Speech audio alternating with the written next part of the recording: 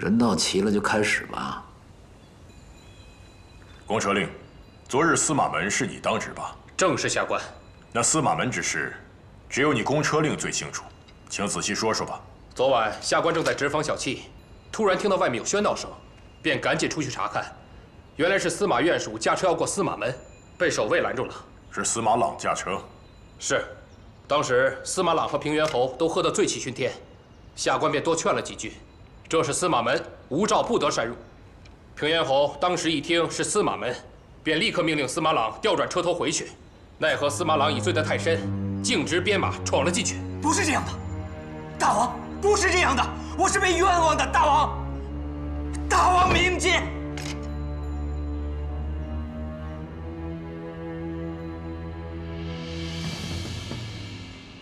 崔深所言是真的吗？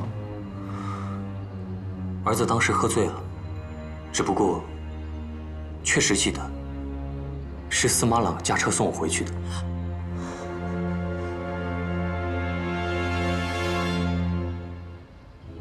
文忠，你知道该怎么办？是。来人，在，把司马朗打入大理寺。是。大王，我冤枉啊！大王，大王，我冤枉啊！子桓留下。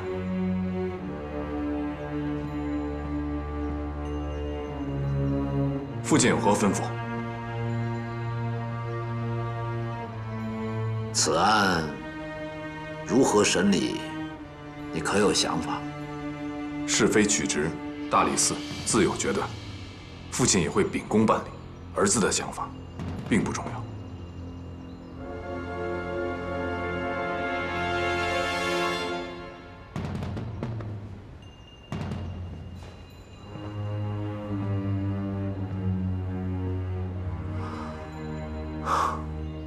司马朗是司马懿的大哥吧？是。秉公办理不好办。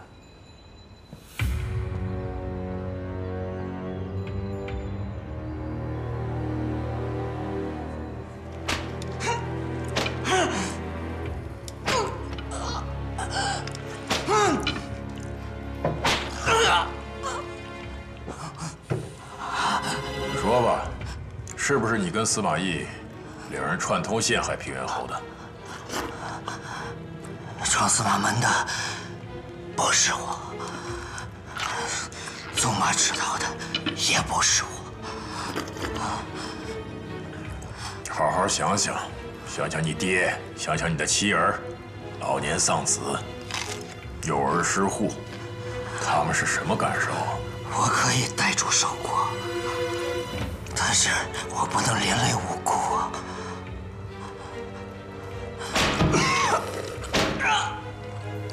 차이나는즐거움중화TV